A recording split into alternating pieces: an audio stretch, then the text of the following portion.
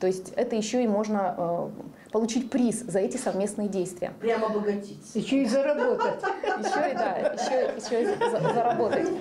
В кругу друзей за чаепитием активисты Краевого дома ветеранов отвечают на вопросы анкеты. Солидный возраст не отнимает вкуса к жизни. Вместе с друзьями и родными часто развлекают себя и участвуют во всем, в чем только можно. Я очень любила с отцом играть в различные викторины.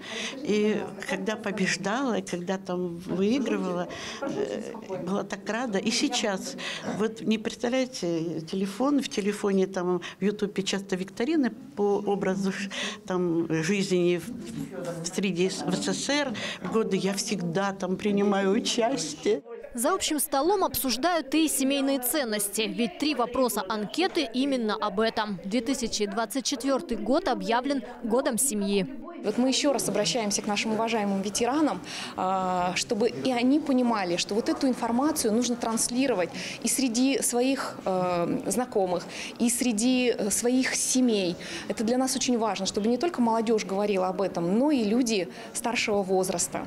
За участие в викторине всей семьей можно получить автомобиль или один из 30 тысяч подарочных сертификатов.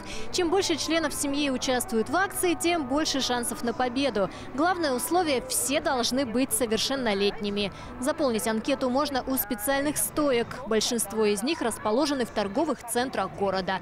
Все подробности на региональном сайте проекта всей семьей 27.рф. Анастасия Незнанова, Ольга Власова. Смотри Хабаровск.